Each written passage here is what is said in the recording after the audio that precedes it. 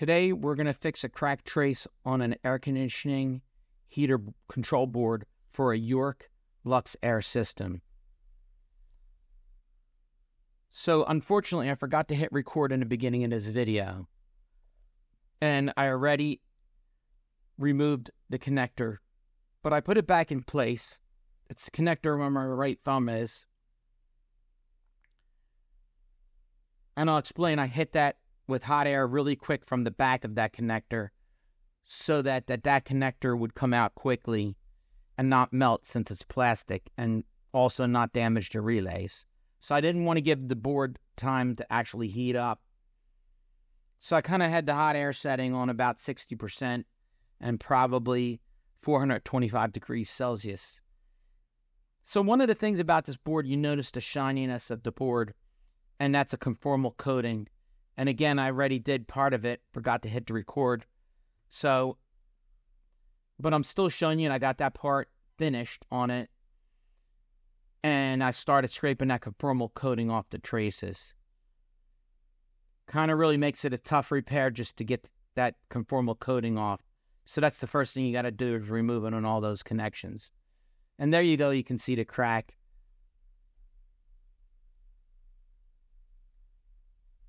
So what we have to do in this case, since that and that connector was wiggling when I got it, so that caused the traces to pull off there. So the pads pulled off because that connector was unstable. So what we're going to do in this case, we're going to repair this board by gluing that connector in and resoldering it in and patching up those traces that were damaged. So in this case, I'm going to finish up. I'm just finishing up cleaning it. Because the traces have to be absolutely clean. And I'll, I'll point out that I'm using lead solder in this because it has a lower melting point and it's easier to work with. So this is I'm just showing you what I did before. Just hit it with that hot air gun really quick. Pop that connector out while the solder was still wet. It's a shame that the tech did this and this was a brand new board. So the board's working other than this crack. Just a really bad design. You can see that notch where the connector is. That's just some weird way how they engineered it. For some reason, they put a notch in it. I'm just showing here that I'm using lead-based solder. Even to remove that connector, you want to pre-coat the pins where you're going to remove it with lead-based solder so you can lower the melting point when you hit it with the hot air gun. Then it just comes right out. Real quick, hit it with that hot air gun, and it's right out.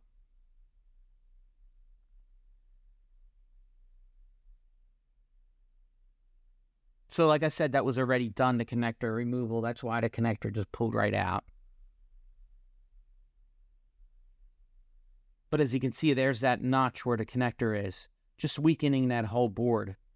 So you can see if someone presses in that area to snap the board in, then that would easily crack.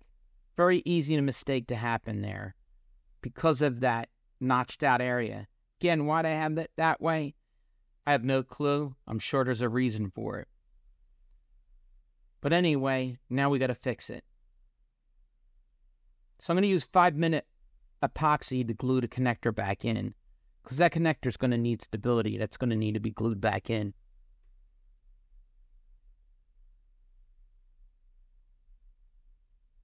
I'm just going to coat around the pins, not to trying not to get any actually in the holes or the pins.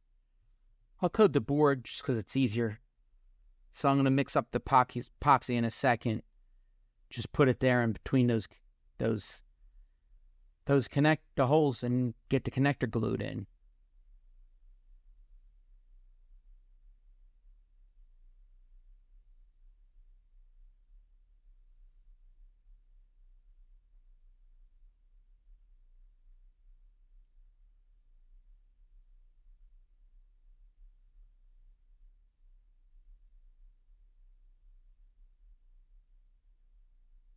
epoxy mixed and ready to go. As I'm putting it on, it's already drying Five minute epoxy dries really quick. But that's a good thing, because if you're repairing some boards, it's nice to have it dry quick and be done to repair quickly. Just, I'm dabbing it in, not to be careful not to get it in the holes. I'm sure a little bit got in there anyway, but not a big deal.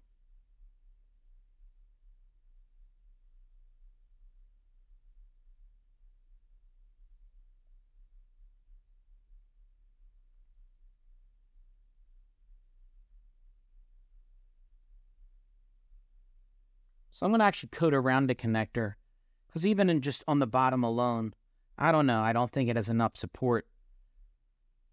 And you have when you have it in a heater, that connector's you got probably a cord vibrating a lot. Believe that's the inducer connector, uh, but don't quote me on that. Regardless, the vibration in the heater needs to be anchored really well. That connector. I'd rather over anchor it than under anchor it. Since I have the epoxy mixed already, why not? While that epoxy's drying, I'm going to start preparing some Kynar wire. And you, as you can see, though, that connector, I got it all around. Just want to get it in really well. And now I'll let it dry. There's the Kynar wire. I like the Kynar wire because it's pre-tinned, so that's why it has a silver look to it. So it solders really easy. And that's about 22 gauge Kynar wire. And I'm sure you can get wire that's uh, pre-tinned. I just like the Kynar because you can use it also over circuit boards. Basically, it has like a, a PVC jacket on it really thin green jacket. But it's easy to strip, just easy to work with. I just like it.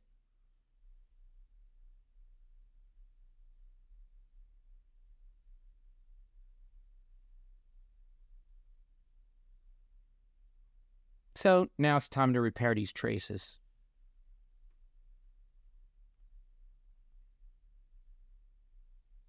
Just cleaning the tip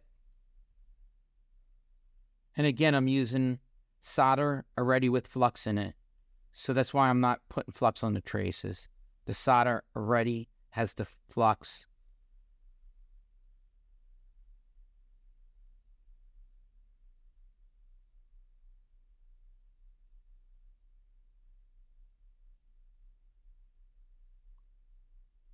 Just going to get solder on each of the, the pins on that connector.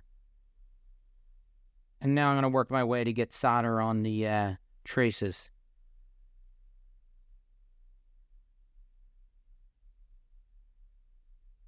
You see me really putting a lot of solder on it and heating it maybe a few times because I don't want a cold solder joint.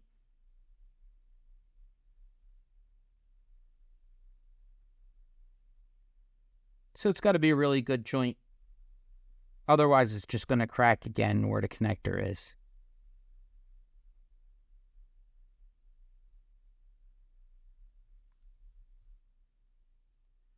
And by the way, I'm using a fume extractor.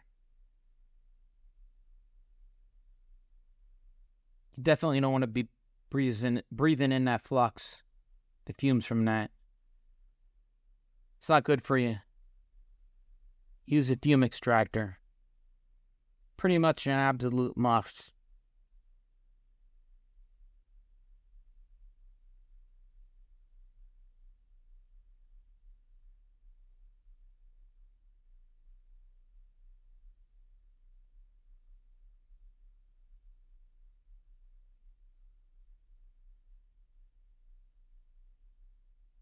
So I'm just going to wrap the wire around it.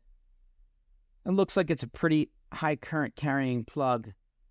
And again, that's about 22 gauge, that uh, Kynar wire. And you'd be surprised 22 gauge can have a decent amount of amperage on it.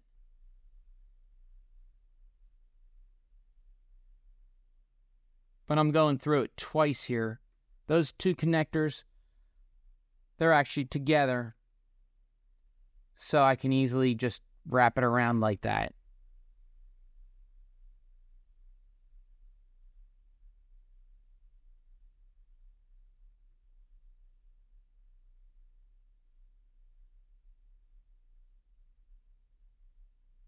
And instead of having to cut the wire, a great trick that I'm going to show you next is to actually just pull the wire basically until it breaks off on its own. So now it's soldered in pretty good, anchored pretty good. Now I can just pull that wire there, move it around till that breaks off. Just a little bit of a time saver. Before I knew any better, I probably would have uh, cut it with with snippers, but it required a lot more time. Doing a lot of boards and electronics, you get efficient.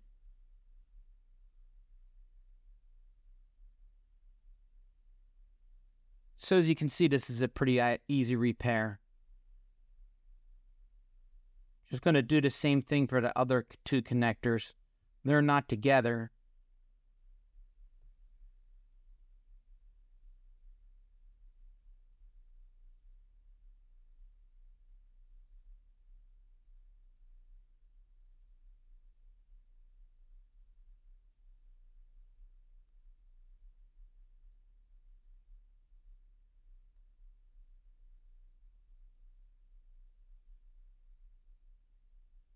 Again, I'm using that trick to wiggle it off.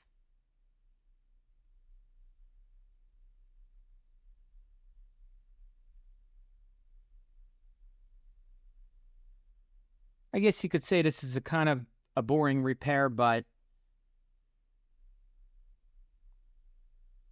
this is the kind of things you actually run into real life. Most repairs are mostly boring. They're not crazy involved where you magically have to find capacitors and all. It's usually a broken connector, broken trace, stuff like that. So it's always good to see it.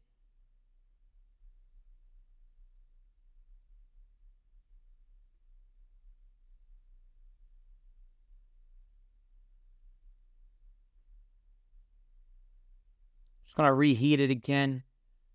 Like I said, I like to hit it up with a lot of solder. Really make sure that connection's good. I don't want any cold solder joints.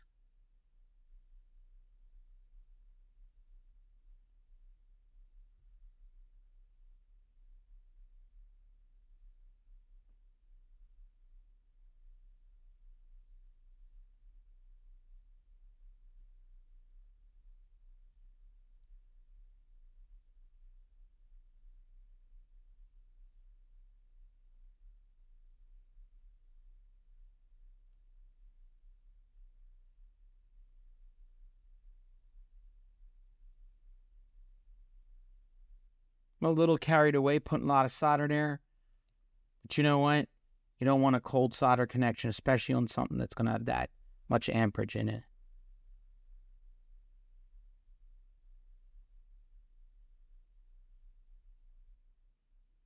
I'm going to clean it off now with a toothbrush to brush it off with and I 96% alcohol. Just the better alcohol that you can use any 92, 96, as long as it's over 90%.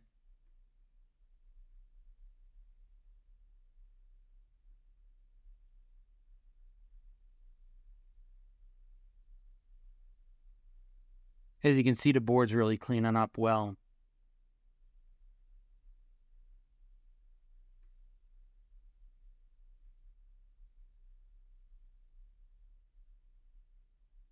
And there you have it. Since that connector was glued in and those solder connections are really on good now. It's better than new. So I'm just going to test it, just testing continuity to make sure that there's continuity that the leads actually are making contact. Never assume that the work's done until you test it. It's beeping now, but I actually re-edited this video so you don't hear it beeping. So that had con- continuity. That had continuity.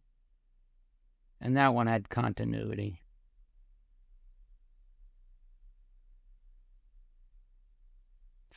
Connectors in really, really, really good. So now this board's better than new.